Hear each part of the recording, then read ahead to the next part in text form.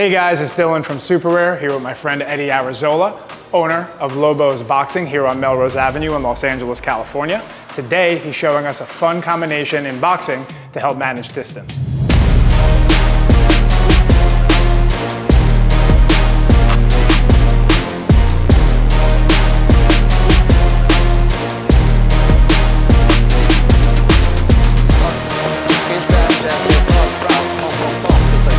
Hey guys, I'm Eddie Arrazola. Welcome to Lobos Boxing Club, and this is Superare's Technique of the Week.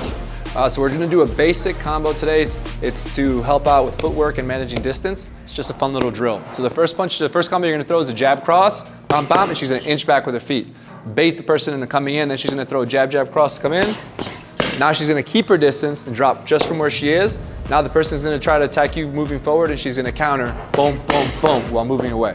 Okay? So full speed, it should look like this. Jab cross, inch back, jab, jab, cross, drop, boom, boom, boom, just like that.